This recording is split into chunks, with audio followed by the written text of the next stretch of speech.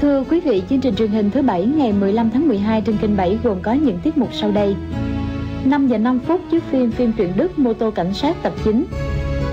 6 giờ phim hoạt hình trên Disney. 6 giờ 30 phút chào ngày mới. 7 giờ nghệ thuật và cuộc sống. 7 giờ 15 phút tài tử cải lương tác giả tác phẩm Ngô Hồng Khanh.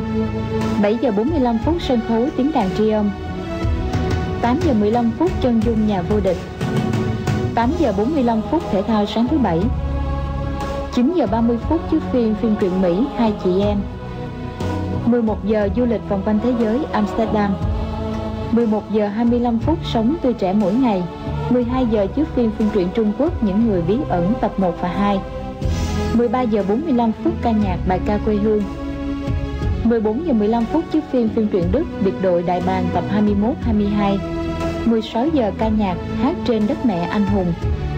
16 giờ 45 phút khoa học và đời sống. 17 giờ phim truyện Trung Quốc Hoàng đế Vĩnh Lạc tập 21 22 18 giờ bản tin kinh tế. 18 giờ 15 phút chiếu phim phần tiếp theo. 19 giờ trò chơi truyền hình chuyện nhỏ. 19 giờ 50 phút tin thế giới. 20 giờ ngôi nhà mơ ước. 20 giờ 30 phút chuyện không của riêng ai.